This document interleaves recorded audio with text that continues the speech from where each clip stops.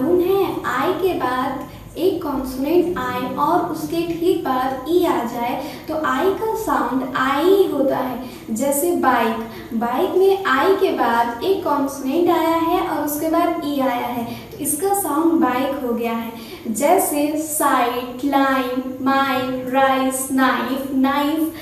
rice crime fine site line